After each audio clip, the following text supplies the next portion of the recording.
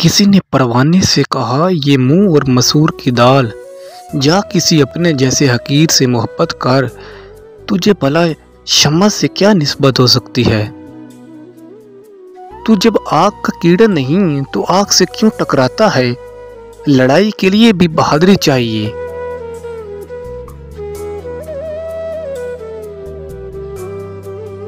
इसलिए तो छछुंदर सूरज से छुप जाती है, क्योंकि फौलादी पंजे वाले से मुकाबले के लिए तो बड़ा ज़ोर चाहिए।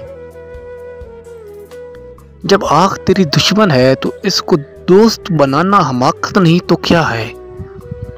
जो फकीर होकर शहजादी का रिश्ता माँगता है, वो अपना खून नहीं करता तो और क्या करता है? शम्मा के तो बादशाह भी मोहताज होते हैं, फिर वो तुझे क्यों खातिर में लाएगी?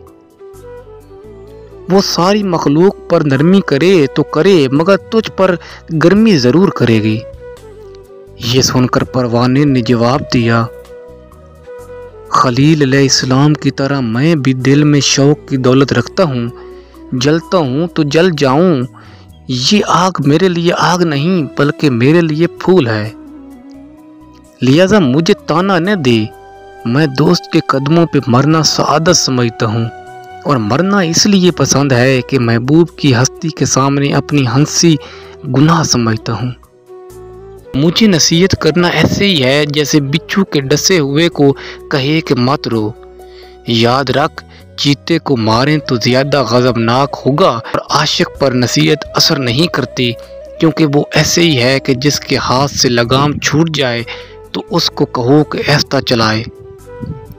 मैं बेहौसला नहीं हूँ कि इश्क छोड़ दूँ और जान बचा लूँ। मौत ने भी तो मारना है। इससे बेहतर नहीं कि महबूब के हाथों मर जाऊँ।